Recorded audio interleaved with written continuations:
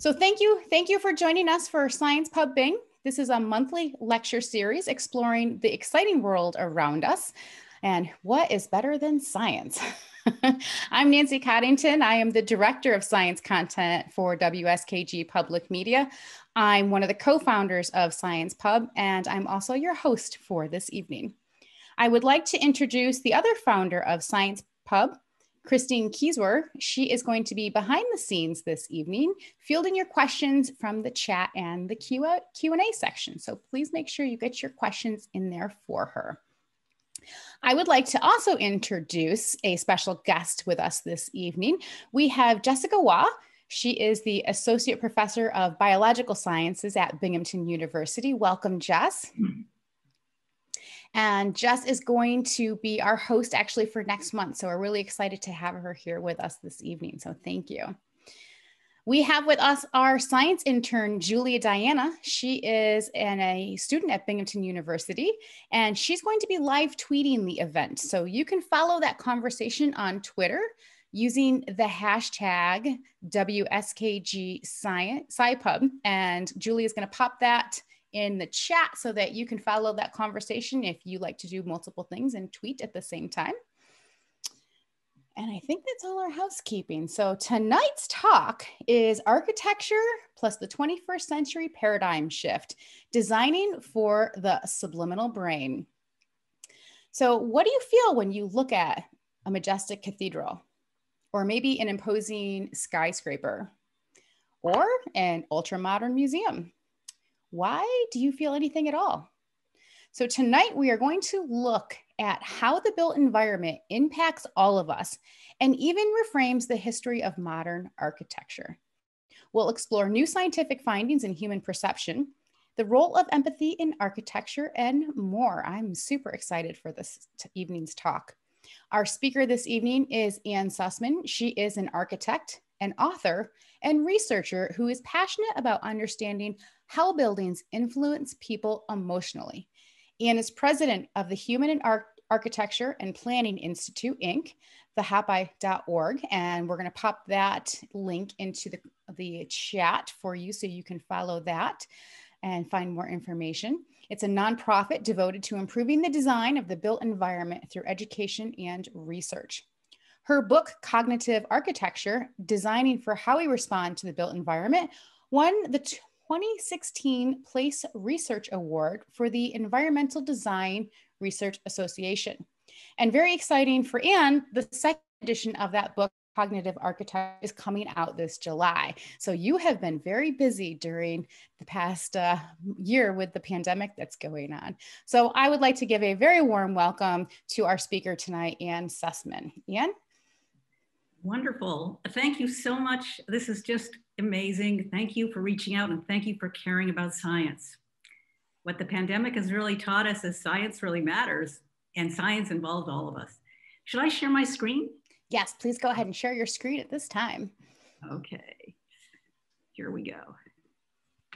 Does everybody see it? Yes. Awesome. Okay, so the title of the talk is Architecture of the 21st Century Paradigm Shift designing for the subliminal brain. And in talking with Nancy earlier, if you have any questions or want to say anything, please do speak up or uh, because we want to make this an interactive um, presentation as we can over Zoom. And what we're going to be talking about is how we're really in incredibly amazing times. Um, we're in what's called a 21st century paradigm shift. It's not just a pandemic, it's the actual paradigm shift. We're in this new time where, believe it or not, our 21st century is now called a new age, an age of biology. I was born in and went to school in the 20th century, the age of chemistry and physics. My dad was a chemical engineer. And the 19th century is the age of engineering. And that gave us amazing things like the Eiffel Tower. I actually stole this idea from the OECD, the Organization for Economic Cooperation and Development. And they, uh, Professor Anne Glover, who is a female knight. She's the dame of a British empire. That's a CBE. She's a biologist, and she came up with this idea that the 21st century is a new age, the age of biology. And she explained it this way, and I um, used her slides because they're so good. So the 19th century gave us engineering, uh, gave us, you know, camera, trains, uh, the Eiffel Tower. The 20th century, look at this. We got radar, we got plastics. I mean, we live surrounded by plastics so much we can't imagine there was a time when there wasn't plastics. Um, we got the first computer. Uh, we split the atom. They were game changing things. They changed what people could do, they changed how we lived. But now, what the OECD is saying is we're in a completely new time, and they're calling it the age of biology. And now we can see things from the inside out. Excuse me. Does anyone know what this, the top slide is on the left? The top picture on the left is? Can you answer? Or, or the picture on the right? The top picture on the left is yes, Paul um, has indicated that that is DNA, and I agree with him and Adam. that is right. And what's below? Uh, right below that looks like that's going to be a neuron. Those are neurons. And how many neurons do you have? A lot. A lot. 80 to 100, uh, 80 to 100 billion. And so, in a way, that's the amazing thing about the 21st century. We see the world um, inside out. Whereas the 20th century gave us all this engineering, now we can kind of under, understand ourselves differently. And we can do completely different things, like Oscar Pistorius, even though he was a double amputee, could make the Olympics. I mean, that's unheard of. In the 20th century, if you were an amputee, you didn't go to the Olympics. It, things just, it just shifts how you think. And it's going to be very profound for many disciplines. And one of the disciplines that's going to change the most, I'm going to argue in this lecture, is architecture because now we can use these amazing new tools and actually look at how build people experience buildings. Let me show you this. So what you're seeing is this woman looking at a famous building. It's Villa Rotunda. It's in Northern Italy. It's by Palladio, one of the most famous buildings in the world in a way, because it influenced so much other architecture. It was the basis in some ways for an elevation of the White House that's on every $20 bill. And now you can take that building that was built like 400 years ago and you can look at how people actually look at it. So every one of those big circles is called fixations. That's where the stimuli is coming into the brain. And the line between them is saccades. And like the woman looking at this doesn't realize she's moving her eyes 45 times in 15 seconds. But in the new age of biology that we're in, I do. And I can actually see how she's looking at things before she consciously realize without her, even though she doesn't consciously realize it. And what you can do is um, you can also see that everybody looks at the world a little differently. So here's another woman looking at it. You can see she's looking at it slightly differently. And so what the big companies do that are really interested in selling things to human beings, they will do statistical averages. They'll get 30 to 39 people to look at this image and they'll figure out where they look first, second, third, fourth, fifth, sixth in the first 15 seconds or in the first minute. It's quite amazing. They do, they look for the TTFF, that's the time to first fixation. And we can see, and they can, again, they can actually find how long most people, in this case, 32 people looked at this. They can see, oh, well, let's see, 30 people found the first um, fixation in a certain number of seconds. It's quite, quite amazing.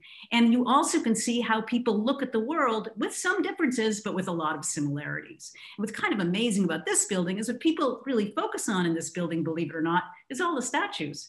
They do look at the center, they look at the door, and then they look at all the statues. It's quite interesting. And um, this is how you set up a lab like this.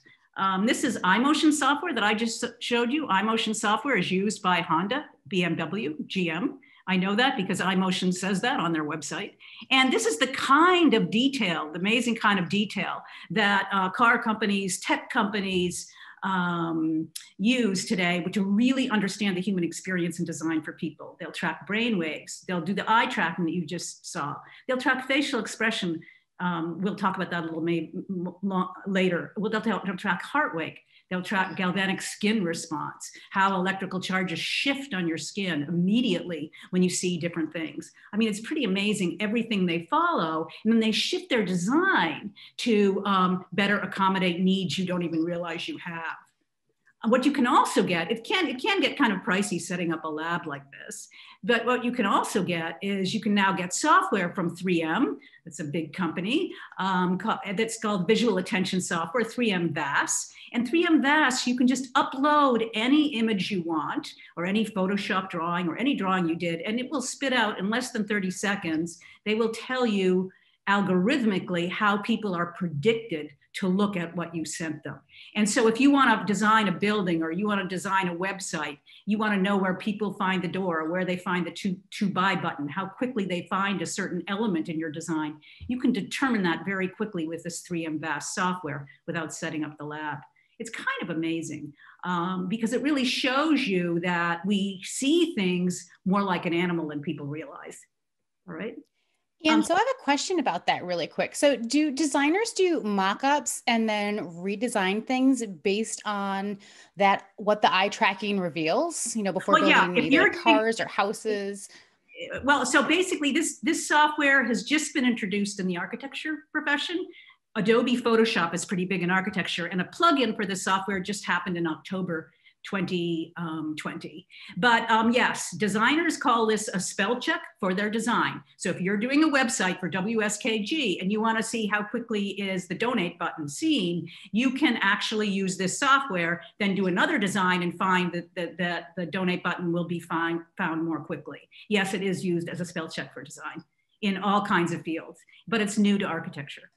Um, it, and it's, it's extremely powerful a little bit scary because it shows you kind of how easy it is to manipulate people.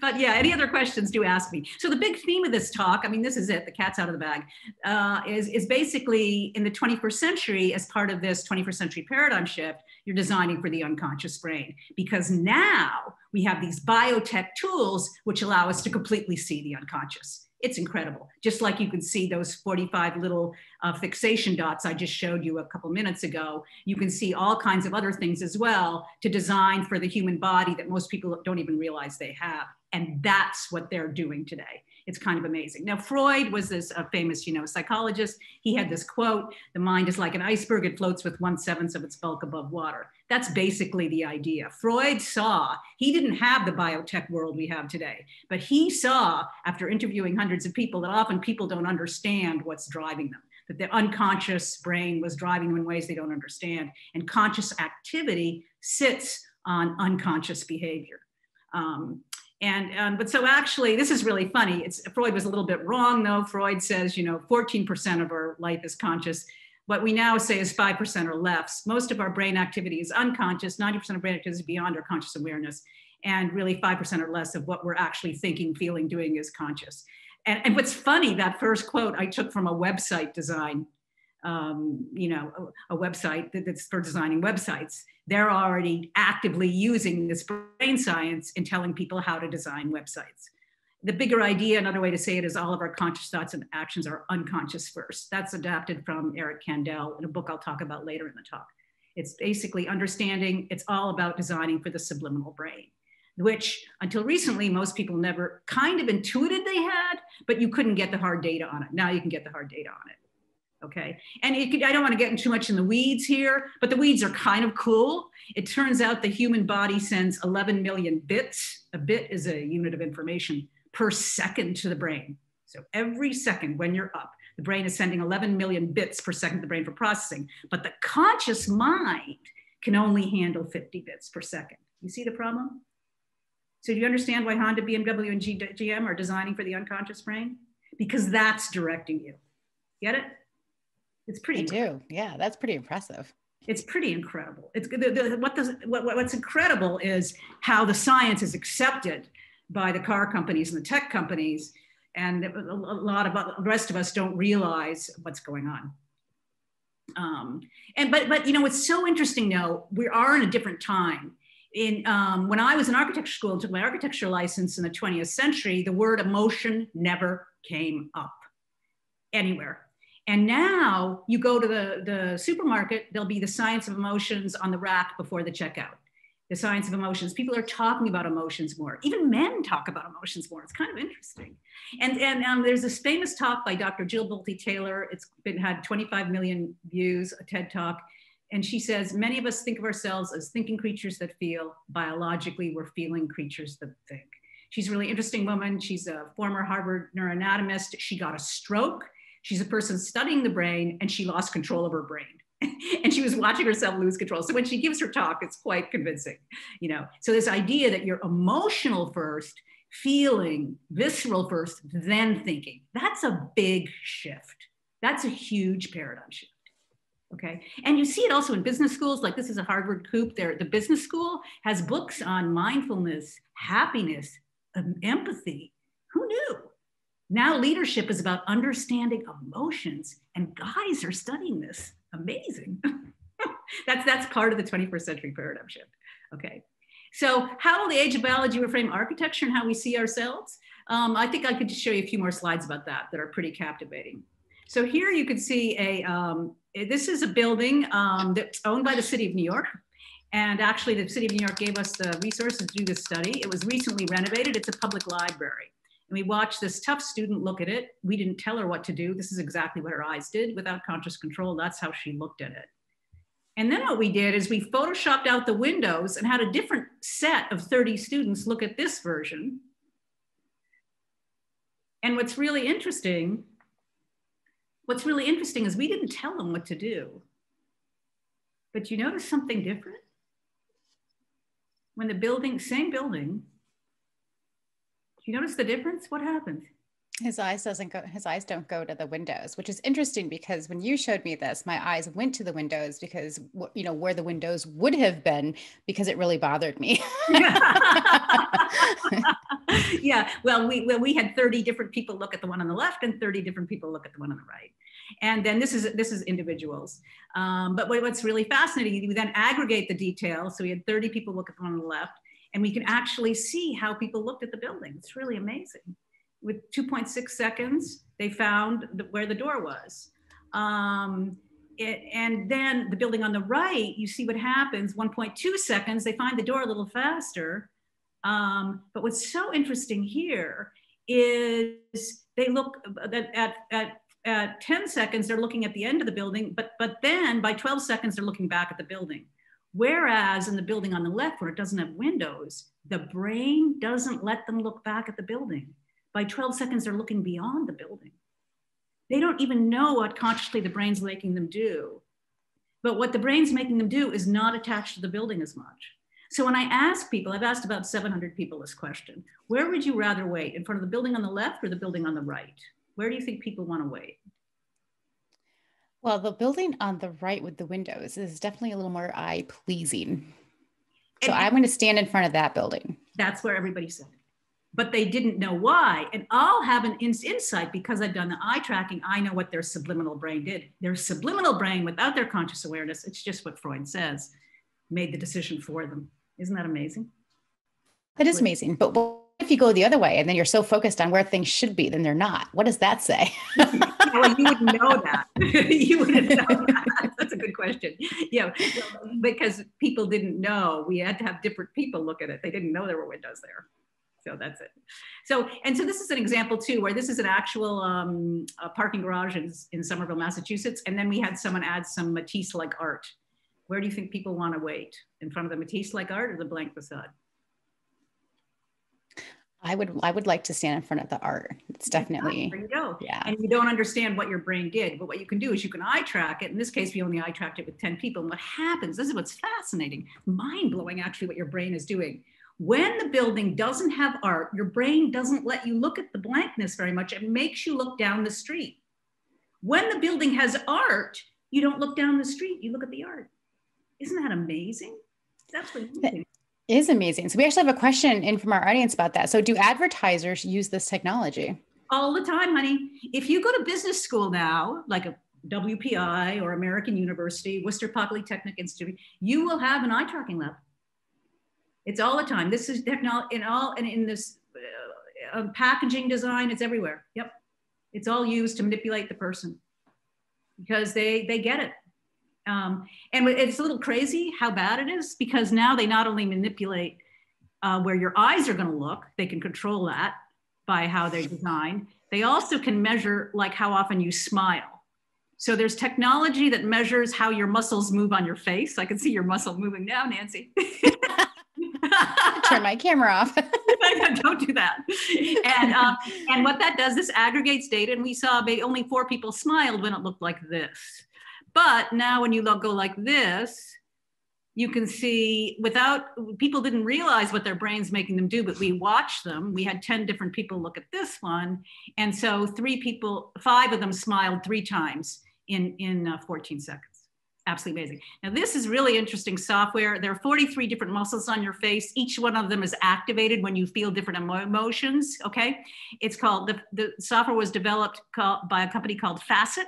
The uh, software was called Emotient. and um, I'll tell you the truth now, Apple bought the software and took it off the market. Of course they did. Of course they did. So, and just a just a clarification in your graph that you have, where um, you have the dips and the valleys, where is it uh, showing where people are smiling? Oh, oh, this one right here. Yeah. Oh, so that that's the number of people that smiled. So when it goes high, that's where the smiles are. Yeah. No, no, no, no. no. So when there, it's a line graph, nobody's smiling. But if it's at uh, four people smiled on the right here, and then five people smiled three times. You see? It, gotcha. It, okay, that's that's how it shows. It is a little confusing, but you can actually track. Um, this software was taken off the market, bought by Apple, um, because they don't want competitors. You're a trillion dollar company. They don't want competitors having this kind of kind of very powerful um, marketing tool. So, but there's another company called Affectiva that does something similar that Apple hasn't bought yet. Okay. Give it time. I have a quick question before we keep going. Um, on back to the windows for just a moment. Uh, regardless of having, um, you've got one that has the windows and one that doesn't have the windows. We're back yeah. another another slide. Is it because the windows um, give human scale? Is that why we're more attracted to the windows? Okay, well, we'll, we'll get into that. That's a little more complicated. Okay. Uh, but, but, it's, um, um, I think what happens is that the brain for survival, the way you are is because of 3.8 billion years of survival, right? And basically, areas of contrast immediately get attention. And when there's no contrast, there's nothing to look at. So the brain tells you don't go there. So the window it has incredible contrast to it, right? Yeah, it does. Thank you. So that's what's getting you, getting your attention. And it has a light behind it as well. And so, and, and what's so interesting though is it's not conscious. It just shows how the unconscious directs you. And this now you understand why business school students are using this because they want to manipulate you completely. Okay. So, so basically with biometrics, you can predict and measure how people ignore blank things, how buildings make people feel and behave, how often they smile, and, and you can, and how specific elements impact on overall design, which is really important if you're an architect. You know, if you put windows there or not, people are going to behave differently without understanding why. So here's, I'll just go through this pretty quickly. This is in uh, Brooklyn and um, and it was a brand new, you know, public public museum. Where do you think people will look? I'm going, let's see, I'm looking actually at that building in the back, but I'm also looking at those series of windows behind the cars. There you go. You're good, girl. That's exactly what happens. That's exactly what people do. They look at the building in the back. So you design, just imagine this. The architect. That's exactly what I did. you're really, really good, Nancy. The architect has designed uh, for $30 million this building for the public with public funding. It's a public museum. And where do people go when they got out, look at the car? They look at the housing behind. It's not even connected. And then they look at the fire hydrant. It's, it's stunning. That's interesting. See what happens? no, Why is that? Because because people don't look at blankness. So, so I had a I had a GSD student at Harvard designing some windows, and a friend said to me, "Ann, those windows are not very well designed at all. It didn't even matter. With when you put the windows in, the brain will not let you look as much at the at the high rise in the back. See what happens? See how the red isn't that oh, interesting? Oh, yeah, absolutely. It stresses the brain to take in blank facades. So you can ask, really understand new things about how people actually look. This is another building in New York. Where do you think people will look? It's a public library built about 15 years ago. It's a public library supported by public funds, supposed to serve the interests of the public. I don't know. I feel like this one's going to be a trick question because I first I, am going up to the light, then I'm going. I go down to the entrance where it says yeah. Queens Library, and then I go along the wave of the glass. Okay, that's good. Well, good. That's not bad. Not bad. Um, so this is what happens. Basically, they ignore the building completely. Glass is very hard for our brain to look at. And so people looked at the girl doing yoga, they looked at the, the, the contrasting bus with the entrance, and they looked at the faces of other people. It's pretty wild. Yes, the, bu- the bus definitely caught my The attention contrast- first. It's the area of contrast that gets your eye, right? And then here's a famous place in Boston. And what happened, it was recently changed hands, Hancock Tower, really famous. And so they put an art installation on it. And people only looked at the art installation. It's really wild. So what you start to understand pretty quickly is it's nature's preset how we look at our world. And we're really built to see people. So if you, I show you these slides really quickly. Do you know what was on the image in the previous slide? I do. How about our audience? How it went by pretty quick. Did anybody notice notice what was in that slide? What, what is in that slide? Uh, Kristine says there was mugs in the slide. Mugs. And- image? Did you get anything? I'll show it to you. Somebody looked right, right, right when the slide came back up. Um, did anybody notice what was on those mugs? Mugs with faces. Yes. Yes, you got it. You got it. Mugs with And faces. so basically, when you show this, th- th- when you, if you ever want to look at the design of an Apple ad, you'll notice it has very few fonts in it. There's a reason because it takes 60,000 times longer for your brain to process a font than to process a smiling face. So, and the smiling face is processed very, very quickly. Um, so that's it. People are built to see people, and that's the big deal. And that's something that this this very famous Renaissance painter made fun of. So here you can see the face pretty easily, right? yeah, I do. But what, how about here? Can you see it here? It's the same painting upside down. Sure, sure. It, it- so I was trying to see if I could actually see it in reverse, if there was another way, if it was coming from the, uh, you know, You can't because Yeah. basically the, the, the way the brain has the pattern, the template for the face is right side up. And you can see the upside down face, but that's called part-based processing, and that takes longer. Okay, that's what's so interesting about this, that you immediately can see this, right? So this is the big idea. The human brain devotes more area to face recognition than the recognition of anything else. That's the really big idea. This is Eric Kandel, Nobel Prize winning neuroscientist, former professor at Columbia. And so to sell his book about neuroscientists, he puts a beautiful face of a woman on the cover. It all makes sense, right? He's walking the walk, right? You get it? And, and so this is it. This is from Kandel. The brain reconstructs reality according to its own rules. And so that's it. Then they now they know two years ago they did a study projecting an image of faces in for pregnant women, and the fetuses they learned in the third trimester could already recognize a right side up face. It's absolutely amazing. So that's it. So big bo- business again. They know about our subliminal brain and how we immediately respond to faces all the time. So that's why Amazon has a smile on its logo. And they also are always getting more data. So when you look on Amazon for a book, the number one thing that people click on the Amazon book site is the human face. The number two thing is a pet face. Um, Barack Obama's new book has his face on it. Hillary Clinton's book has her face on it. Because subliminally, that'll sell more of your book. well, that's good to know when I go to pen my, Yeah, you got to have a face on it. Now, the car companies study this. Um, and there's a Midwestern couple you can now actually design, you can now actually buy, they're called car lashes, and you can actually buy, um, you know, eyelashes and makeup for your cars. I have seen them in Boston, people wearing them. I mean, people just identify with cars as faces, right? But it's not just the car companies, it's computer scientists, the people designing robots. This was from an article about a computer science, from a computer scientist, because if you want to design robots for people, you have to know what people do, right? And this is what he says. The perception of faces is more critical than previously thought for how humans perceive the aesthetics of the environment and the architecture of house facades and the buildings they're surrounded by. So we're looking at them like their faces basically all the time. That's what we need to see because that's what we evolved to see. That's the big deal, right? Okay, so as an architect, this is really fascinating. It suddenly made me understand architectural history really differently. No wonder there are so many faces on medieval churches in Spain.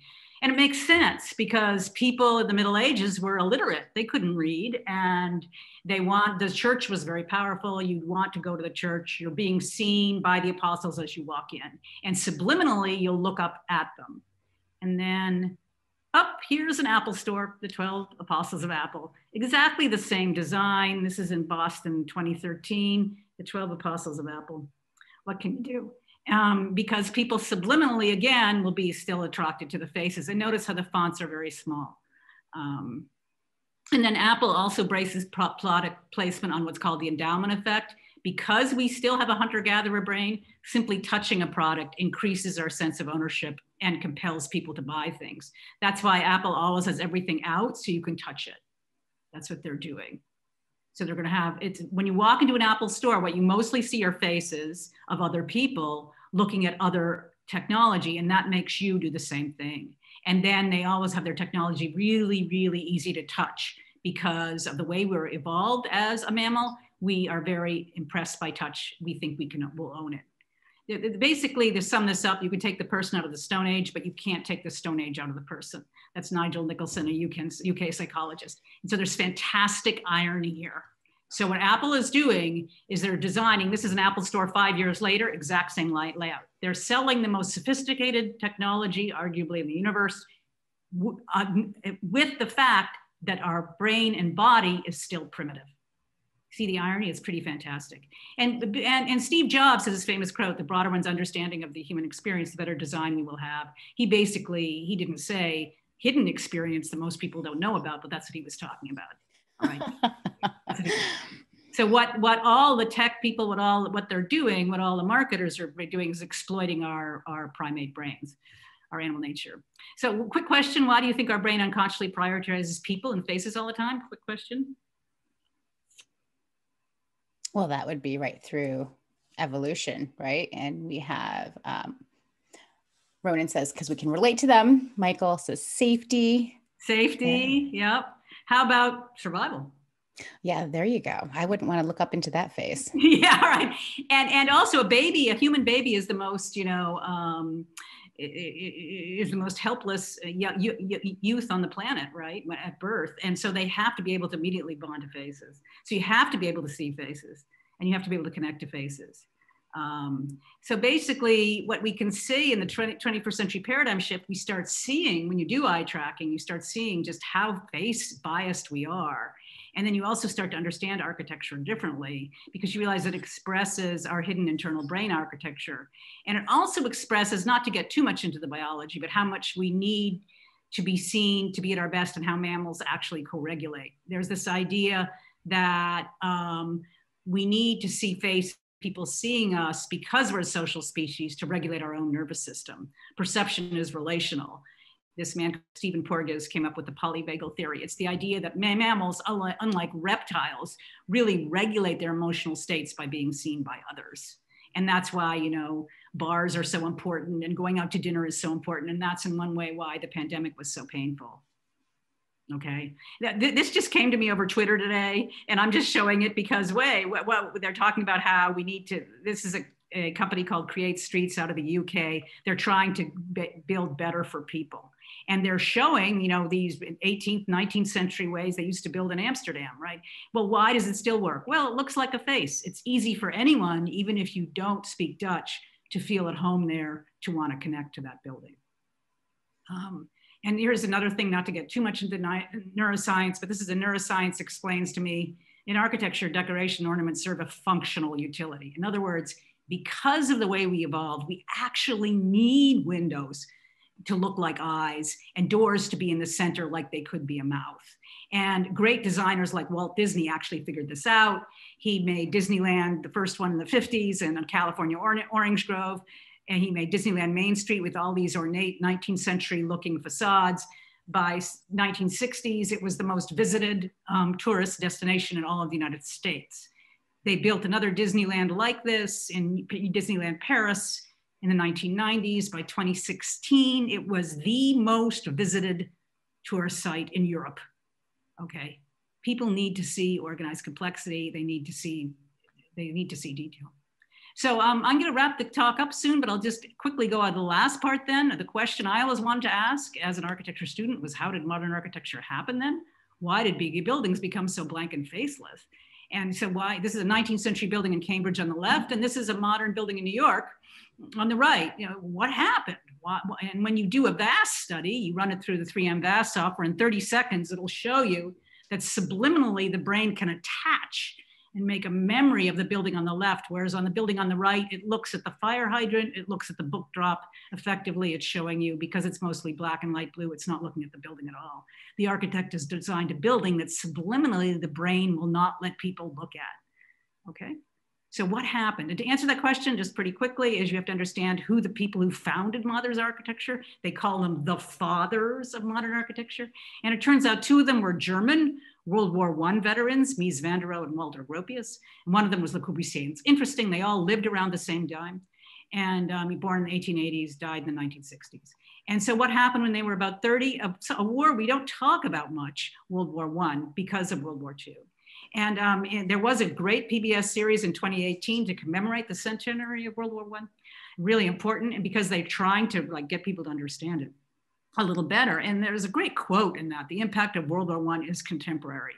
And that is the theme of the end of this talk. The impact of World War I is contemporary. We're all living it every day.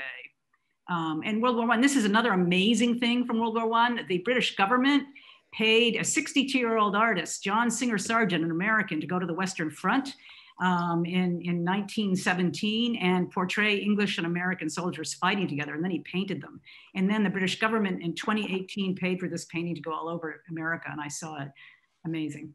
Another first tanks in World War One. Well, so what's the point? The point is there was incredible tragic impact of World War One, including um, you know mass death and PTSD um, what happens with PTSD? Well, what's so fascinating, PTSD really wasn't talked about for most of the 20th century. It didn't enter the doctor's manual, the diagnostic statistical manual that doctors use until 1980. So um, people with PTSD, they, they sometimes called it shell shock. They didn't really know what it was. And it wasn't until the 1990s they could actually do a scan of your brain, a magnetic resonance imaging, and actually look to see how the brain changes. The brain architecture gets rewired with trauma. Okay. And um, basically, this is huge. This, this book came out in 2014, The Body Keeps the Score, um, by this doctor here, Dr. Bessel van der Kolk. And it's all about that. Um, I, will just read a brief, quote here. A remarkable insight from modern neuroscience is the understanding that we, what we express externally reflects hidden internal brain structure or the structure of our inner world. Reality is a construct between the eye and brain, not only the way we live, but specifically the way we choose to build buildings reflects hidden internal brain design that we may not know we carry, yet unconsciously are always responding to. Just like I showed you in the first slides, how your brain is unconsciously responding to a building with or without windows very differently. Um, you, a brain that's been through trauma will unconsciously respond to reality much differently afterwards. So we can now see as Gropius, one of the founding fathers of modern architecture, who worked at Harvard from the 30s till 1952, um, who taught people his method, he had PTSD. And his architecture is an external expression of his PTSD. So this is a bunker um, on the right and uh, near the Western Front that still survives. They have it. They they allowed trees to grow up because soldiers from World War One are still their bodies are still in the ground there. And this is Gropius's house that he built while he was working at Harvard, uh, 20 miles away from the campus, and it kind of looks like a bunker. And then with PTSD, you become dis, disembodied as your buildings. I could never understand what was so crazy to me is why modern architecture looks so different than architecture of the past. Uh, for the first 2,000, 3,000 years, architecture is always very similar. And then suddenly with modern architecture, it's different. Well, PTSD, you become disembodied. Um, bu this building on the left is directly opposite Gropius's uh, house. Um, and it looks like you can find the front door, you kind of know where you are, you think the building wants to see you. The building on the right when you visit this building, they tell you a story of a woman coming up after it was built and thinking it, after it was built, thinking it was a gas station. Um, it does, doesn't look like it's a home. Um, and the other thing about PTSD that's so interesting and I think really revealing is when you have PTSD, they certainly saw this with soldiers um, that have served in recent wars in the United, um, overseas in the United States. You lose the ability to take in detail. Your vision suffers. So that's why there's so much detail in the house of the left, and there's like almost no detail at all here your brain can't take it in. Um, it stops time. And this is where it's really amazing. With PTSD, you keep replaying the trauma subliminally. So here's the trench from World War I trench. And then here's Gropius's study. It's laid out exactly like a trench, where you can't see out unless you stand up. And then where um, your, you know, the things that you need are, are, are stored in very um, simple shelving, exactly like in a trench. And then Gropius's bedroom, it's kind of mind blowing. He laid it out just like the bed, the bed areas where the men would sleep in a trench. They slept in a place called a dugout in the trench wall, where um, there there just be places where men would sleep behind a sturdy door frame. He did the exact same layout in his second floor bedroom, a sturdy door frame, and then behind that just his bed. And then uh, when he built a deck, the side facing the street, he covered with a tall wall so no one could see him in it. And then interior wall construction mimics trench construction. Believe it or not, I'm eight miles from a World War I trench that was reconstructed in Hudson, Massachusetts at the American Heritage Foundation. They recently opened it. So you can go experience a World War I trench. When you go in, you see kind of random construction, the way it's built, because someone's about to kill you. You're going to build very quickly and put things kind of in a random way. You walk into Gropius's house, you know, horizontal, horizontal siding is placed vertically. It's that same kind of, you know, rushed feeling. So modern architecture, a direct expression of trauma of World War I trench. I presented this at a um, medical conference in 2019 and at, at ANFA, that's the Academy of Neuroscience for Architecture in 2020. And there's a YouTube video of it. if you just Google theHapi.org, you'll see the YouTube video of it. Basically, that modern architecture now happens, it doesn't express typical brain architecture, it express, expresses damaged brain architecture. And then briefly, what about Le Corbusier? Uh, Le Corbusier did not serve in World War I. He was too blind. And this is his architecture.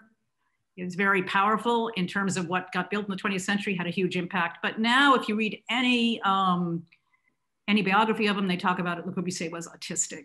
And when you're autistic, you're face it. You don't like looking at faces. And often you're very logical thinkers. Someone once told me that 25% of all professors in engineering schools are on the autism spectrum. You know, so Le Corbusier came up with five points of architecture that I've put on the right here. Um, he didn't ask anyone. He did no preference studies. He did no, it wasn't evidence-based. He just came up with it.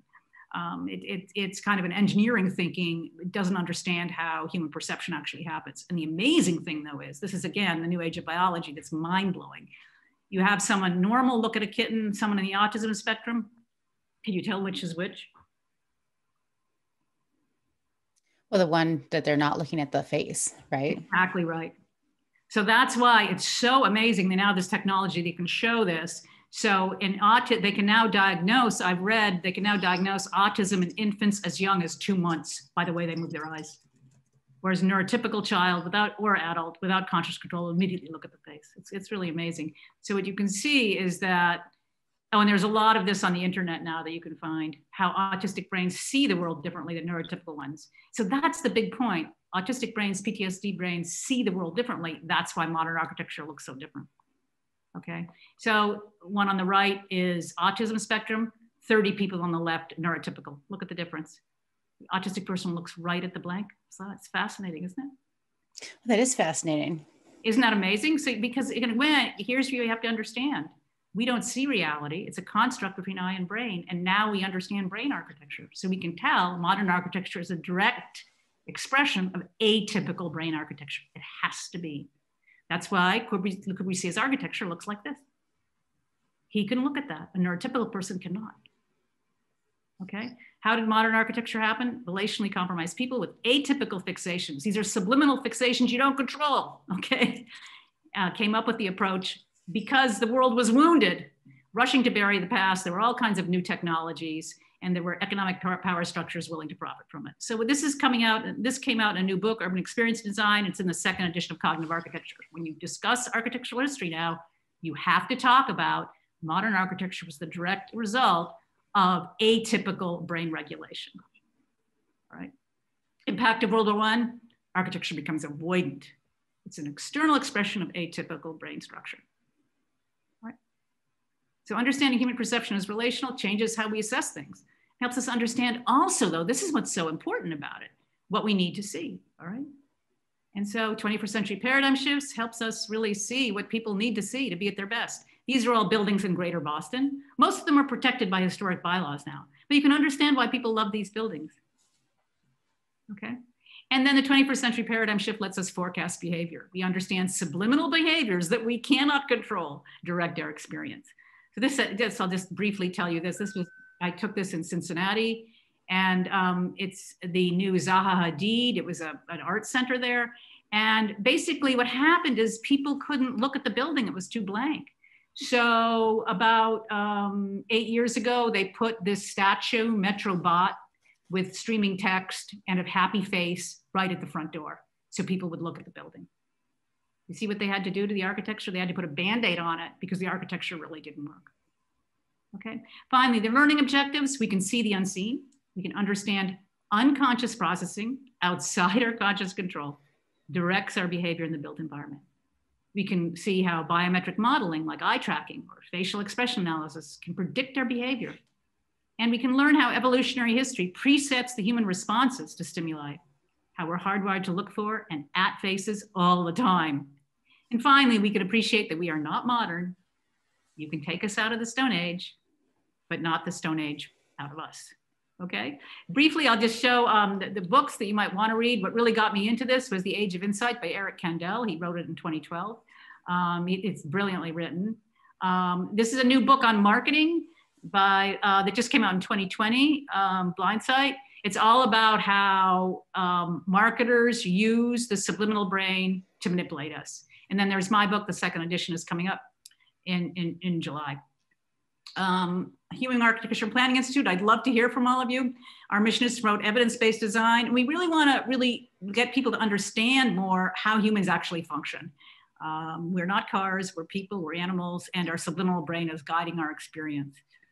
Um, science is real, stay curious. and uh, questions, okay? we have lots of questions for you, Ann. The chat has been an absolute buzz. Um, so I'm going to kick off with um, Paul had had a question. Uh, do you consider architecture and the built environment as Richard Dawkins' concept of the extended phenotype? I'm not sure what your question is. I don't quite understand it. I mean, I think well, I think when you start doing this research, you realize we see the world like an animal, and um, our biology is preset what we want to see, and that's just that's just it. And our biology can't change as fast as our technology. Yeah, and that phenotype would be that expression of of the DNA, right? Right, right. And then yeah, it is basically. I guess then yeah, yeah. The answer would be yes. Uh, can you change the way your subliminal brain works? I, I think there are some some you know there is maybe some ways you can change your way your subliminal brain works. And i think there is therapies for ptsd and there are therapies for autism to change how their brains work and you can learn. But in some ways it's very difficult. Like the face bias is not going to change. In addition um, your body is in a continual state of flow and is always responding to stimuli continually. You're just not con- conscious of it. Thank you. Um, can you tell us the name again of that software that was purchased by Apple and, and buried for their own purposes? yes, that was um, Facet is the company. And in 2016, they bought it. I was able to use it before 2016. I still have it on my computer. And the, and the software is called Emotient, E M O T I E N T. And um, it's pretty amazing they did that. But you could see why they did that. The software is extremely powerful and it shows all the way people are feeling before they're maybe even consciously aware they're happy. They'll be able to tell it by the way the face is moving. You know, I, am sure you've had that experience in your life when you're saying, "Hey, Nancy, you didn't really like when I said that, did you?" And you're saying, "No, I didn't." What do you mean? And, and because because what your face did. I'm sure you've had that experience. You know. I'm pretty have I have a not a very good poker face. yeah, yeah, but people are reading you subliminally all the time. That is very true. Very true. Uh, Patrick has a question. Has there been any experiment done or data on whether people look at uh, maybe dependent on one culture you know where they grew up or to experience the person's life experiences and what they're exposed to or age group or profession. Those are super good questions and basically here's the deal. Um, this is what's real it's really fascinating and tremendously scary. Basically the first three to five seconds when you look at something at a glance it doesn't matter your age gender religion, language, you look at it the same way. I was a 3M VAS scientist explained this to me, and you look at it a lot like, I hope you're ready for this, guys, like a monkey. Okay. And then after that, when consciousness kicks, kicks in, that's when, when, you know, that's when age, um, biases, culture start picking up. But the immediate thing, is completely animal. We look at it, and in a way, it kind of it kind of makes sense. Um, um, you know, I don't think cars change their headlight arrangements that much when they sail in different countries. Oh, you got to see in front of you. right. Um, another question, I think you started to answer this already in your last question, but how does age play a part in tracking? You know, for instance, do senior citizens focus on one area as opposed to a younger person? Yeah, I, I, think I think there again. I think um, the first apparent, according to the science, the vision scientists at 3M, the first at a glance, the first three to five seconds or so, it doesn't matter. Age doesn't matter. But then definitely after that, age and culture does matter. So age and culture can definitely matter. Um, Great, thank you. Um, do you have any data about night? Uh, Lindsay is an architectural lighting designer and curious about these concepts as related to the nighttime environment. Um, that's a really, really good question. Um, and I, I, that's a super good question. I think that the issue is when you're dealing with neuroscience and all these ideas, it's like drinking out of a fire hose. Too much is coming at you. So um, I think what you have to do, what I wanted to really focus on was daytime and the public realm. Why is it easy to walk in Paris? Why is it not so easy to walk in suburban America? I couldn't understand why. And this science actually has answered that question. It's because the subliminal brain is not fed the fixations it needs to keep itself soothed. Um, it, it, it's a real problem having an old brain. All that knowledge rolling around in there. yeah, it's a real problem, but our brain is still, we're still animals and we're still responding to the same thing. Yeah. Uh, did anyone test how architects and architectural historians look at buildings? Yeah, that's been tested. And basically, if you go to architecture school, that apparently um, kind of changes your brain and you don't look at the world anymore like a normal person. so actually when they do these studies they want to know they want to separate out the architects from the non-architects because going to architecture school. And then the funny thing is that in the end of the day i would argue that you want to design for regular people because architects are what 0.00001% of the population? You want to design for the normal brain and that and when you go through architecture school you stop seeing the world like a normal person especially when you're taught modern architecture, it was made up by people who couldn't see the world normally because they were so traumatized. I think what's fascinating and what's so new is understanding how trauma really impacts the brain, and it really does. So if you've been traumatized, um, it will subliminally, you won't even know it's impacting you, but it's still impacting you because the reality is always a construct between your eye and your brain. And you don't even know what your brain has in it half the time. right? right, you know. Um, so Anna had a question about art. You know, it would be interesting to use eye tracking software to see how viewers actually see a particular painting. Do you have any examples of that? Yeah, I do actually. You want to see them? I actually have, I eye track some Picassos and um, it was really, really fascinating. Um, and um, what's real, it's really, really interesting. I mean, I don't know if you want me to share my screen, but I could show it to you that, that Picasso figured out that if he did a painting of a young girl with really distorted eyes, people would really look at it and, and really focus on it. And he was right. And, and if you do a painting with only one eye instead of two, people won't look at it as much. But eye tracking art's really, really interesting. And what's really interesting too is the, um, I, there are websites about the most viewed paintings of the world that you can find, and most of them, seven or eight or 10, they always show, they tend to show people. Like the Mona Lisa is the most viewed painting. Um, the picture of the woman on the book by Eric Kandel. I mean, often famous paintings have people in them. Although there are some abstract paintings too, but those, those are usually fractals. That's a whole nother topic, but Oh yeah, yeah. Absolutely. people don't like blankness, but that's a good topic. It'd be, I think it's a great subject for a book. Eye tracking art would be fascinating. Our Twitter conversation. Yeah, more Twitter. um, so Bella uh, was asking, so are we going to see a trend of architects equating attention with approachability? Are the things our eyes linger on better for our cities and health? I would argue that's a really super good question. I would argue yes. So because we're a social social species, we're hardwired for attachment. And if we can't attach, our nervous system can't calm down. So those old, I showed you pictures of like those charming buildings in um, in Amsterdam. And even one of your slides before we started showed those charming buildings in Amsterdam. It was really interesting. That was kind of funny. So yeah, we need, we actually, it's kind of just like, when you really think about it though, it all makes sense. Just like nature's preset your heart rate before you're born. She's preset how many times you're gonna breathe in a minute before you're born. She's basically set what your walking pace is gonna be. It's all kind of preset by evolution. Nature has also preset what we need to see. And so we need buildings that suggest people that look like us, that have vertical bilateral symmetry, that have a top, middle, and bottom, um, that have windows that could be seen as eyes very quickly. That's basically what it's going to be because that's how our nervous system is hardwired. Remember, this is what you have to remember that's really important. Buildings are really recent. So if humans are maybe 120,000 years old, but buildings are only like 5,000 years old. So like our the nervous system we have evolved without buildings. You get it? So we kind of have to have buildings that look like us for us to feel comfortable in the public realm they create. Otherwise, what happens is people get in their cars, and cars are like envelopes. They seal you in your own little tube, and you, you're not in the public realm anymore. You're in your own little tube. And that's not healthy.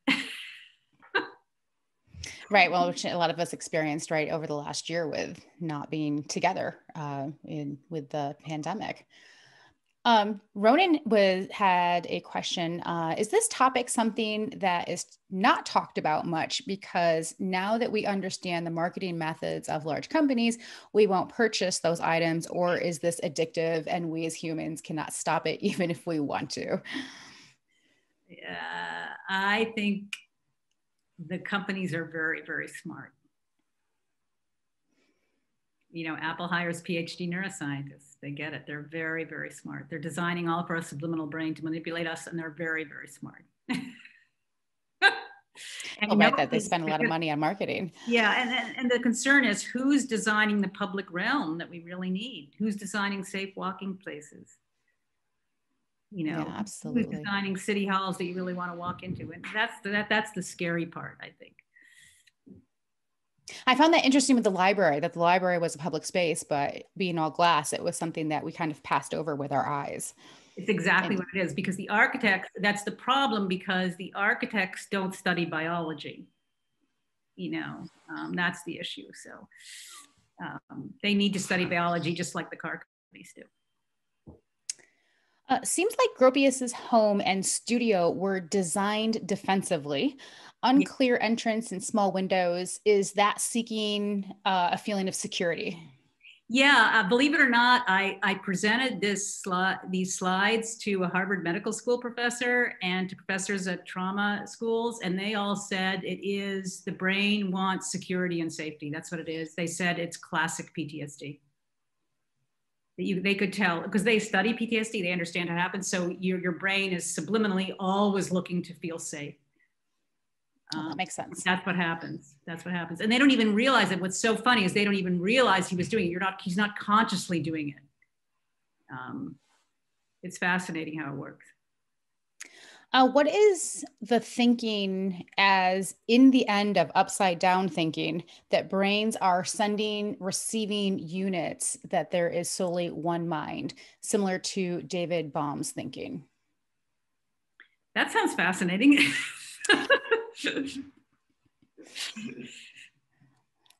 so that's from Lynn. So if Lynn, if you have any clarification on that that you want to pop in the chat, that would be great. Um, Marcia says she can't remember if Frank Lloyd Wright served. I'm uh, going to say no. Frank Lloyd Wright was from a different generation. He was from an earlier generation. So he, he was born, I don't know, 20 years earlier. So he was a completely different generation and he did not have PTSD. And he was very upset with the way they were building. And he thought something was wrong with it and he was right. And, um, and his buildings, I mean, he, he, he does some unusual modern buildings, but his buildings tend to have a top, middle, and bottom. They're, they have a sense of narrative coherence um, and they're not so um, they fit in a way the way that um, the modern buildings do not what happens with modern built environments is to become very disjointed it's actually fascinating they become really really disjointed because the people creating them were disjointed inside I could never understand why traditional old towns, they're so coherent. You can walk right through, it all makes sense. Whereas modernism is never coherent. It's, it's ramsh, it doesn't make any sense because well, the people came up, who came up with it didn't have a coherent sense inside them. Remember, reality is a construct between eye and brain. So you're seeing it's it, the art, what, what trauma therapists talk about is dissociation. So they, they they gave us their dissociation. There's this great quote from Bessel van der Kolk, the famous trauma doctor. Hurt people hurt other, uh, hurt other people. That's what happened in modern architecture. And that's what, you know, because it doesn't feed us what we need. right. Uh, Sharon says Gropius's pre-war building looks the same Uh, than his post-war post-war buildings. How would PTSD explain that? Well, I think it, it, it, doesn't quite look the same. It has a top, middle, and bottom. I've looked at the Fagan stuff. It doesn't quite look the same. It's not as blank. It has a top, middle, bottom. The, the front doors are right there. It's not, it's not the same. As architecture changed. I think what happened, the architects at, at the turn of the century and in the early 20th century were really trying to incorporate engineering thinking, you know, and so I think that's what the, his early structures look like but then when you once you have PTSD, you can really incorporate engineering thinking because you're, you're more dissociated. You don't understand how people think. So there is a real difference. The front doors of his uh, uh, pre-war buildings are easier to find than the front doors of anything he built afterwards. PTSD grabs hold of you and doesn't let go.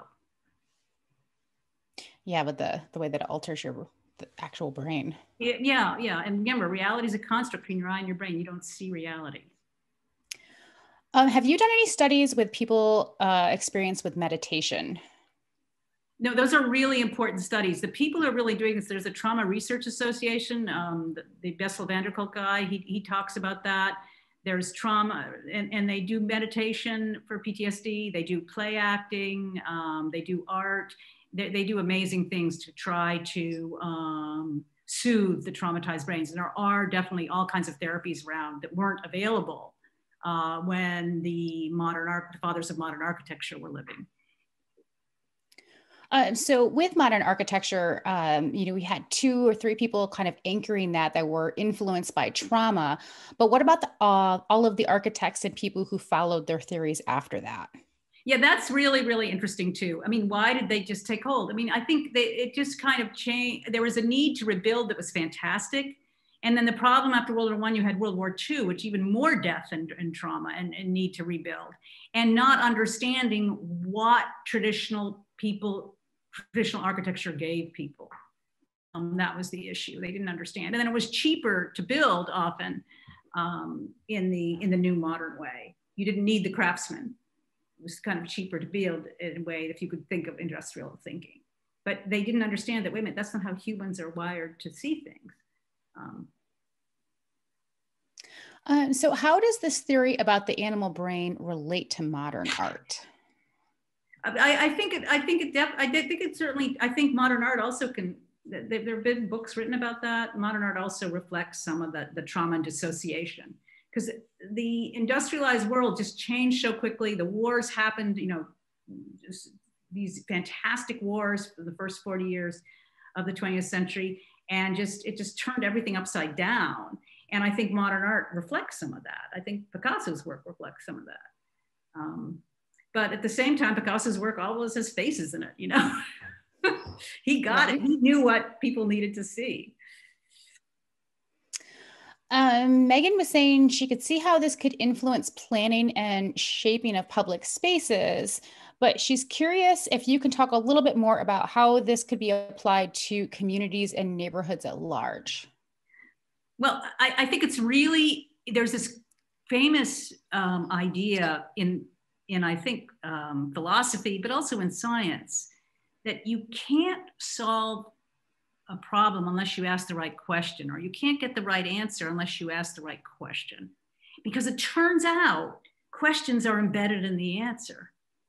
So if your question of the way you're framing the um, new neighborhood or the new school doesn't understand that humans are animals, they have subliminal things driving them, they need to see faces, they go for edge conditions that are consistent, they love detail, um, th then you're not going to get the right answer. Um, that's the problem. You know, questions and answers are embedded. Humans are not machines. Um, in America, one of the problems we have, we built a lot of our towns around cars. And that's kind of a problem because people don't walk like cars, you know? Right. Absolutely. Um, do you find common ground between your work and Christopher Alexander's?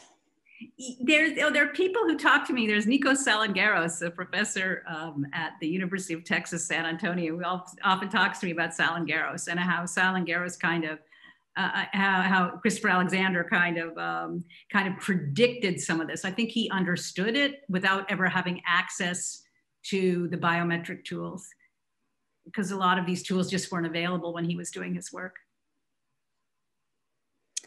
Uh, J.J. Gibson wrote a book called The Ecological Approach to Visual Perception. In it, he coined the concept of affordances. Do you deal with this concept much?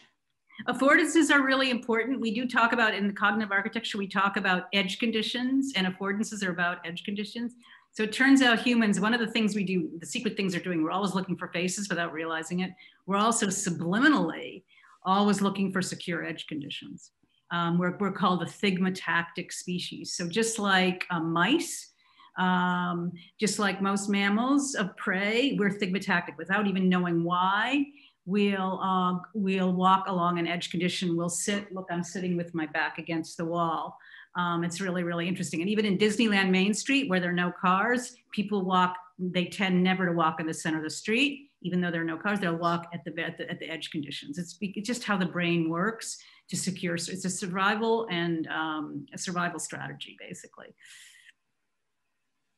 Great, thank you. Um, do you think that architecture will revert back to the older form and make use of faces, or has this already started to happen? That's a really good question. I think I think the thing is, in some ways, buildings are so expensive. Architects have much less control than you'd hope. So I'm hoping that the public can really make public health and human well-being a priority and then maybe get this science incorporated into how we frame our communities. It's a really good question. I mean because we've been building the wrong way for about a century and so we need to revert back. And we've been too car centric which really is unhealthy. I'm very concerned i'm a mom i'm very concerned that americans are now you should all know this 46th in longevity on the World Health Organization chart. We're 46th. That means 45 other countries, people live longer. Uh, retired surgeon explained to me 70% of Americans are overweight, 40% are obese. Um, one of the reasons we have the, the, the, longevity issues in this country now is because of the obesity. We aren't designing the world we need to live in. And um, that's a real concern. And I think understanding people better will can help that with your help. Working together. Um, why are some buildings designed without build without windows? Um, that's a really good question. I think it's cheaper. Um, you know, I think often, you know, it, it takes a lot of money to build, right? Absolutely. And, um, and, and it just cheaper to do. And there was this sense, I think, after World War II, particularly, we wanted to be modern. We wanted to put everyone in cars. Oh, we'll put DDT in the crops. We'll make everything plastic. Uh, we'll tell mothers not to nurse their babies because it's primitive. I mean, we had all these ideas, which when you really start thinking about the ecosystem we're part of, actually don't make sense. That's very true. Uh, we had a comment that modern design is calming to me. Ornate architecture stresses me out. Is this common?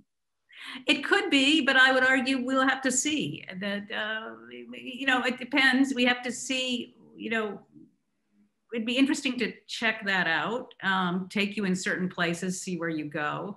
If Disneyland Main Street had all more modern buildings, people wouldn't walk up it. The brain wouldn't let them because the subliminal, what happens is a subliminal brain that you don't control makes the fixations on the, on the diverse elements that it sees, the contrasting elements, and then that pulls you forward without your awareness. Because walking is done with automaticity. Automaticity means automatically without thinking about it. So if the Disneyland Main Street were all glass plate glass, nobody would walk down it. we can't. Um, I we have another. We've got lots of great questions, which is wonderful. Um, talking about uh, our World War One uh, architecture vets, um, why did other architects mimic those designs um, versus trying to look at something different? Well, I, I, think again, it was part of the new ethos of the new world, the world of plastics, of formula for babies, of everybody in a car, this idea that engineering and war, because war gave us our world. There's a new best selling New York Times book about that. We're really living in the, and Tom Hanks wrote, a, wrote an article about the New York Times recently. It's the 75th year after the end of World War II. You know, war gave us our world, and we were just so entranced by the technologies, we just kind of took them all in. What was the question again? Um, I forget. Just so you know how they're, why would they mimic? Um, why you know, they did. essentially, and the other yeah. thing is, I think what happens too is it, this is a really interesting idea. There's also a lot of gaslighting that with someone, gaslighting is a term when um, people are telling you something that's not, you know, that, that humans learn by being mirrored. And these people who were teaching who had PTSD didn't mirror the right way. They couldn't. Um, they didn't tell. And when I went to architecture school, traditional architecture was never mentioned. So I assumed, well, I guess it's never important. But then why do does Disneyland all have traditional architecture? Why does everyone go to Venice? It makes no sense. Um, when people have pictures of Paris, you think there are no modern buildings in Paris. Why is that? Something didn't make sense. Because in a way, you're gaslit to tell you that traditional architecture didn't matter anymore. But in a way, you have to have compassion. World War One or World War Two were so horrible, people didn't want to look at the past. They wanted to throw it out, and they wanted. They had this idea they could start from scratch. And and and Gropius would say to a student, "We're starting from zero." Well, that's PTSD, because great architecture is always evidence based. That's why it worked. I like that.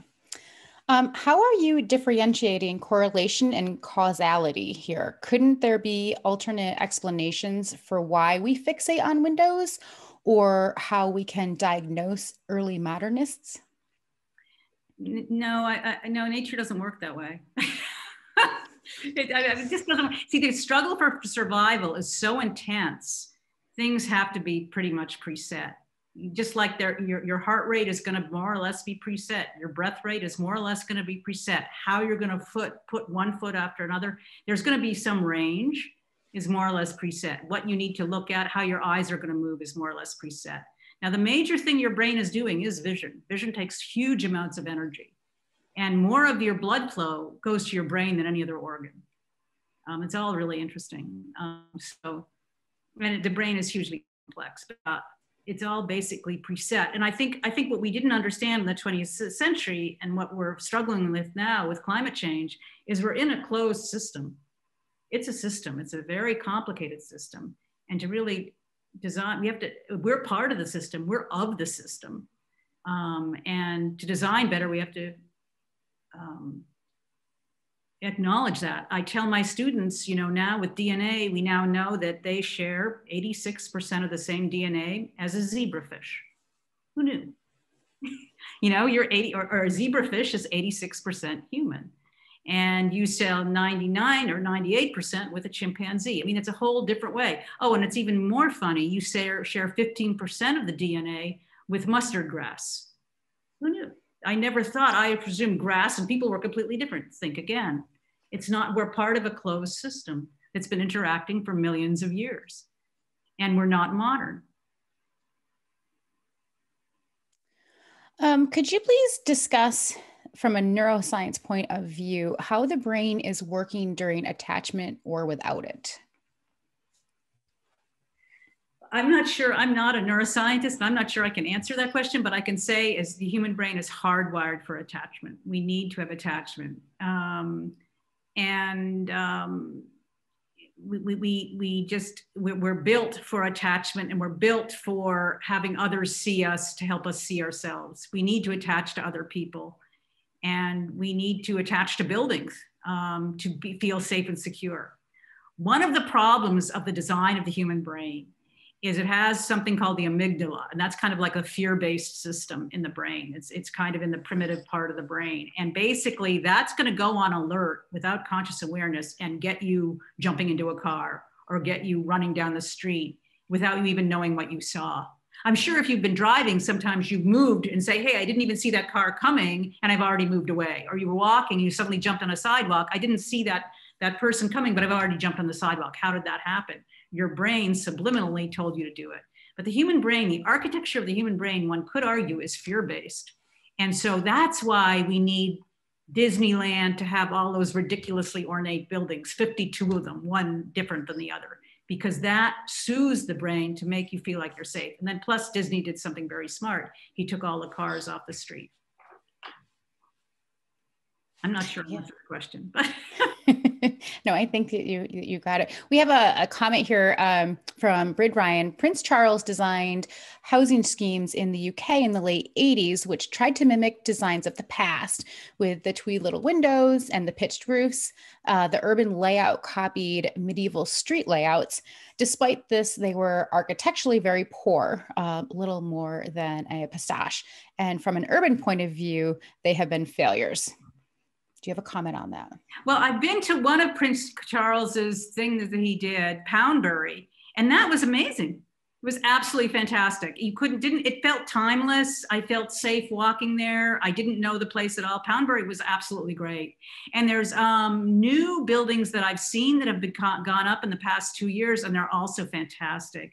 Um, I think the Prince Charles intuited. Basically, he did evidence-based design. He went and looked at places where people like to be and um, what you find in Massachusetts generally is if something has historic district designation, it sells for like 20% more than things that do not. And in the Commonwealth of Massachusetts, the highest real estate in the Commonwealth per capita is in Nantucket Island. That was an old whaling town. And that became all, the whole island basically is under historic designation. They banned modern architecture in 1960s or something. You cannot build a modern building. Now only ultra millionaires live there. They have beautiful cobblestone streets. It's, you feel really cozy walking down those streets. It's, it's kind of amazing what's happened. So modern architecture is for the, the wealthy in Massachusetts get the the most beautiful old architecture. That's what happens. It's a class thing. Yeah, that's unfortunate. Very pretty to look at, though. Um, yeah. How do you think that the pandemic uh, sh- will shift the future of architecture?